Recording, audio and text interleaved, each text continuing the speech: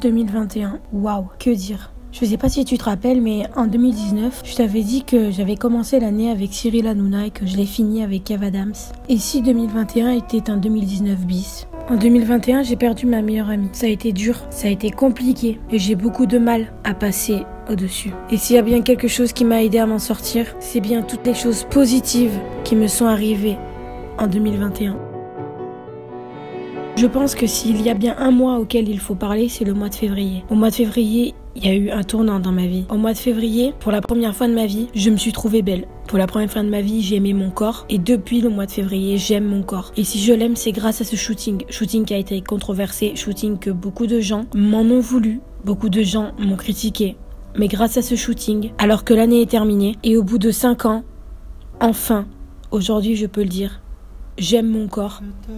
Et c'est grâce à ces deux shootings, un en février et un en avril, que j'ai réalisé. Et je remercierai jamais assez le photographe pour tout ce qu'il a fait pour moi.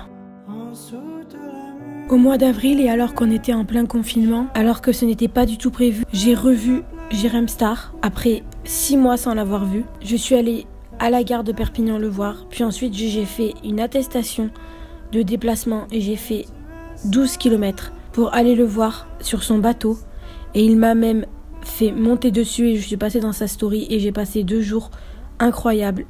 Merci à Jérém Star. Le mois de juin. Mais quel mois de juin? Au mois de juin, ça faisait sept mois que j'avais pas vu Kev Adams. Sept mois. Et il a annoncé une dédicace dans l'un de ses restaurants. J'ai donc fait 900 km, une fois de plus, pour passer ce qui est à l'heure actuelle l'une de mes plus belles dates avec Kev depuis 10 ans. Merci Kev Adams.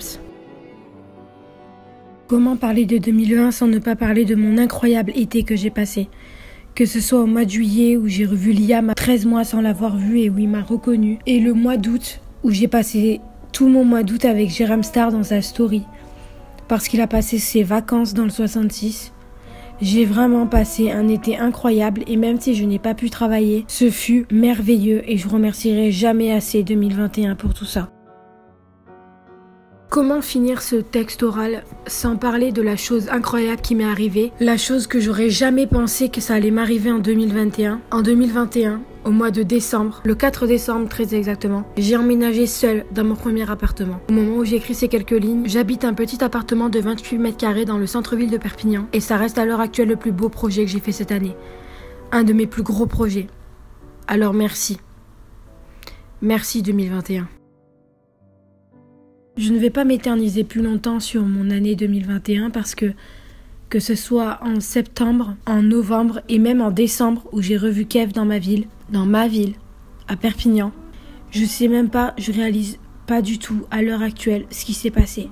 Je veux pas que le texte oral dure très longtemps parce que vous savez très bien que les textes oraux de fin d'année durent jamais très longtemps, mais il fallait quand même que je parle de cette année parce que je le dis souvent, je sais, les textes oraux de fin d'année, souvent je redis tout le temps les mêmes choses. Mais là, je vais le dire, parce qu'il est important de le dire, et parce que c'est clairement la vérité. L'année 2021, alors qu'on a eu un confinement et des couvre-feux, reste à l'heure actuelle l'une de mes plus belles années de ma vie. Alors juste une chose, merci 2021, que 2022 soit aussi belle que toi. Une fois de plus en 2021, j'étais au bon endroit, au bon moment, avec les bonnes personnes.